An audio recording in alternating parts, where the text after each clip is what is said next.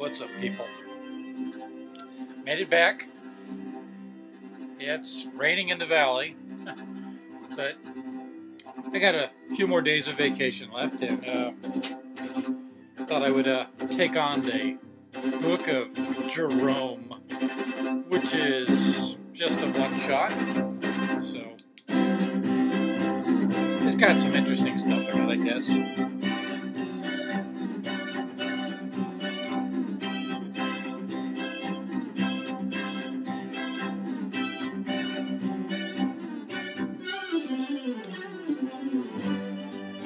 I say more?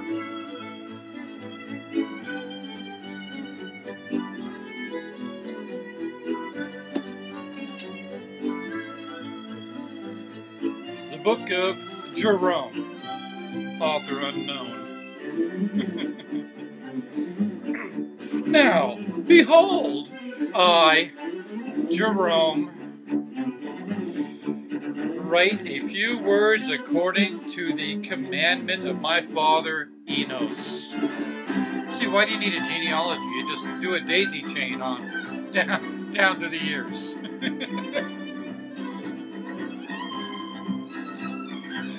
that our genealogy may be kept, but it really isn't. It just it sort of is. And as these plates are small, and as these things are written for the intent and benefit of our brother the Lamanites. Wherefore it must needs be that I write a little. but I shall not write the things of my prophesying, nor my revelations. Once again, aren't they the same thing?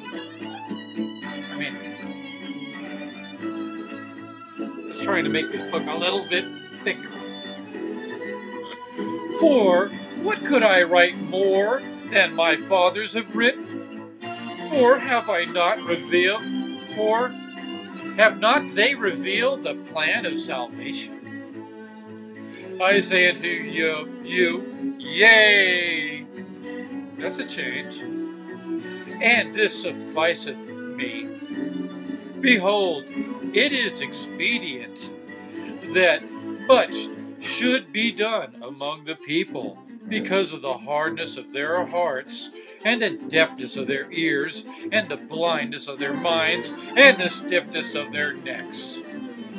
Nevertheless, this is all one sentence. God is exceeding merciful unto them and has has not as yet swept them off the face of the land. Wow. That's all one sentence. and there are many among us who have many revelations, for they are not stiff necked. and as many as are not stiff necked and have faith have communion with the Holy Spirit which maketh manifest unto the children of men according to their faith. And now, behold, 200 years had passed away, and down here in the footnote, BC 399. I guess they'd know. And the people, yeah, passed away, and the people of Nephi had waxed strong in the land.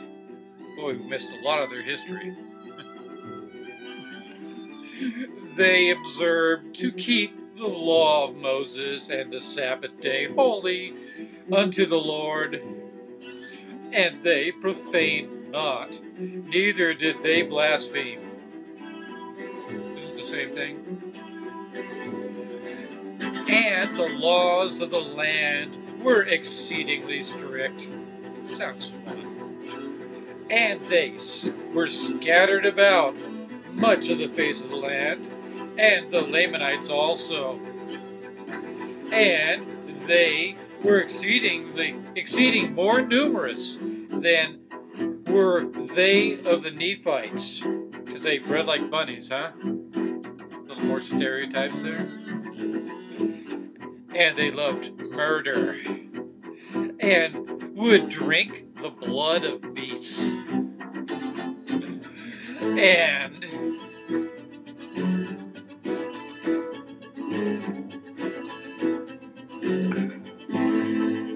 it came to pass that they came many times against us, the Nephites, to battle. But our kings and our leaders were mighty men in the faith of the Lord, and they taught the people the ways of the Lord. Wherefore we withstood the Lamanites and swept them away out of our land, and began to fortify our cities and whatsoever place of our inheritance. And we multiplied exceedingly because they're Mormons. Proto Mormons. Proto Mormons, that's it. they multiplied exceedingly.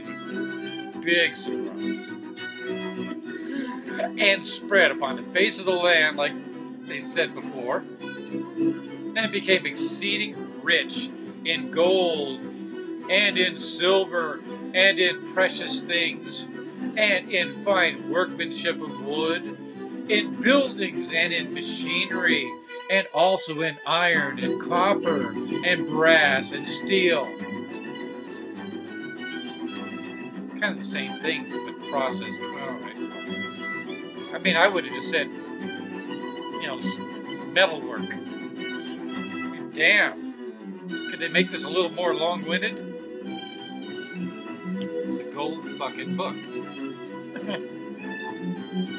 they must have been exceeding rich, but who could lift this? I mean, I didn't hear that Joseph Smith had a fork had a forklift handy to carry his book home.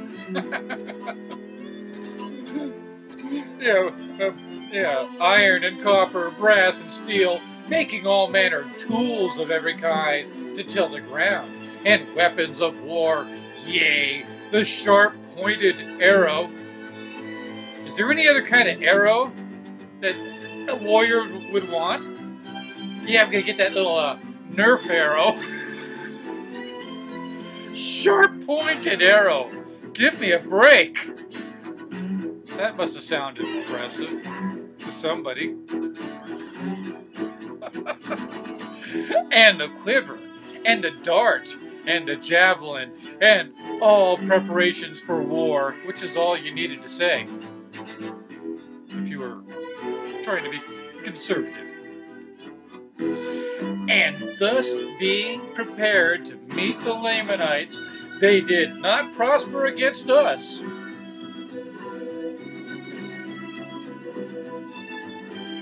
But the word of the Lord was verified, which he spake unto our fathers, saying that, Inasmuch as ye will keep my commandments, ye shall prosper in the land.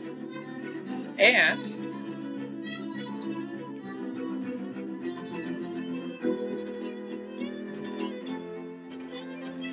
came to pass that the prophets of the Lord did threaten the people of Nephi, according to the word of God, that if they did not keep the commandments, but should fall into transgression, they should be destroyed from the face of the land given to Dana Malway.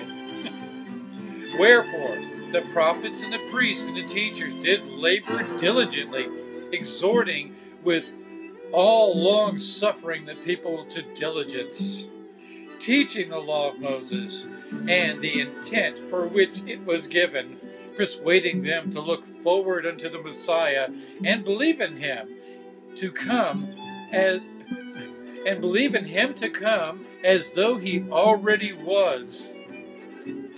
Like we do now. Again. He wasn't born yet. He came. Bye. He's leapfrogging to our time now. It's just taking him a couple of eons. Yeah, a couple of hands. a couple thousand years.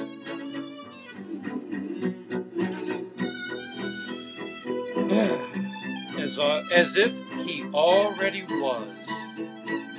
God, they're such good prophets. They spanked the Old Testament prophets. And after this manner did they teach them, and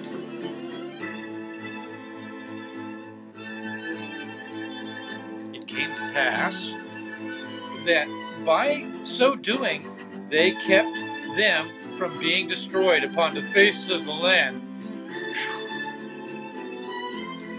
For they did prick their hearts with the word, continually stirring them up unto repentance. God. Serious guilt trips there.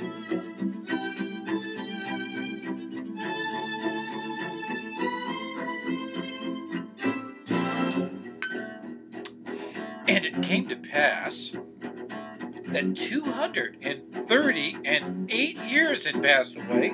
And uh, let's see, down here, the footnote is BC 361.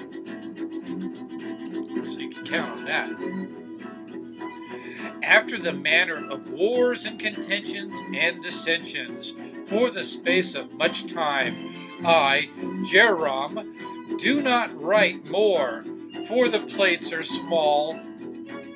But behold, my brethren, ye can go to the other plates of Nephi. For behold, upon them the records of our wars are engraven, according to the writings of the kings and of those those which they caused to be written. And I delivered these plates unto the hands of my son Omni, that they may be kept according to the commandments of my fathers. And that is Jarom. I think I'll uh, jump onto Omni, but in another video.